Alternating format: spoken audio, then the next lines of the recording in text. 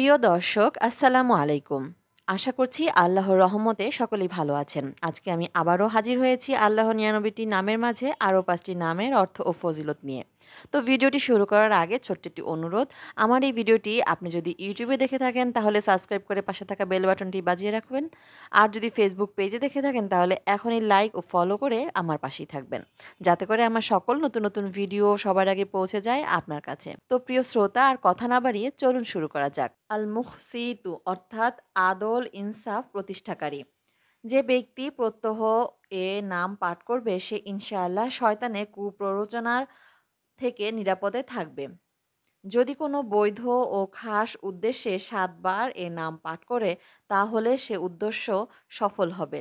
আল জামিউ অর্থাৎ সবাইকে একত্রকারী।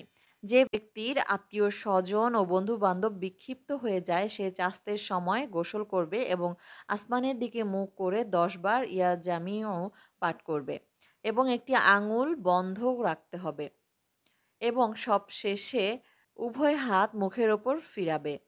এতে করে খুব শীঘ্রই তারা এক হয়ে যাবে। আল গানিউ অর্থাৎ বড় অভাবমুক্ত ও বেপরোয়া ব্যক্তি প্রত্যহ সত্তর বার পাঠ করবে আল্লাহ তার ধন সম্পদে বরকত দান করবে। সে কারোর মুখাপেক্ষী হয়ে থাকবে না। যে ব্যক্তি কোনো জাহেরি, বাতিনি, ব্যাধি কিংবা বালা মুসিবতে পতিত হবে, সে পাঠ করবে। তার সমস্ত অঙ্গ প্রত্যঙ্গ এবং শরীরের উপর দম করলে ইনশাল্লাহ মুক্তি পাবে। আল মুগনি অর্থাৎ অভাব মুক্ত ও ধনী করার মালিক। যে ব্যক্তি প্রথমে ও শেষে এগারো বার দুরুদ শরীফ পাঠ করে এগারোশো এগারো বার অজিফার মতো এ নাম পাঠ করবে, আল্লাহ পাক তাকে জাহিরি, বাতিনি, ধন দান করবে। ফজরের নামাজের পর কিংবা এশার নামাজের পর পাঠ করবে। এর সাথে সুরা মুজাম্মিলও তেলাওয়াত করবে।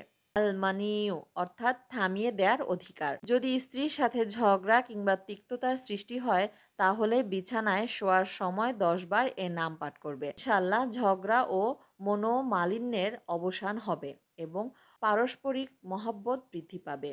যে ব্যক্তি বেশি বেশি এ নাম পড়বে, সে ইনশাল্লাহ যাবতীয় ক্ষতি ও অনিষ্ট থেকে নিরাপদে থাকবে।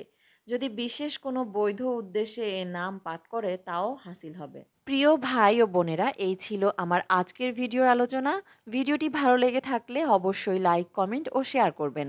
আর আমার ভিডিওতে যদি কোনো ভুল হয়ে থাকে, তাহলে সেই ভুলগুলো ক্ষমা সুন্দর দৃষ্টিতে দেখবেন এবং আমাকে অবশ্যই অবশ্যই সেগুলো কমেন্টে জানিয়ে দিবেন। তাহলে আমার ভুলগুলো আমি শুধরে নেওয়ার আপ্রাণ চেষ্টা করব। তো কথা হবে পরে অন্য কোনো ভিডিওতে। তো সেই অবধি সকলেই আল্লাহর রহমতে ভালো থাকবেন, সুস্থ থাকবেন ও নিরাপদে থাকবেন। এই কামনায় আমি আজকের মতো এখানেই বিদায় নিচ্ছি। খুদা হাফেজ।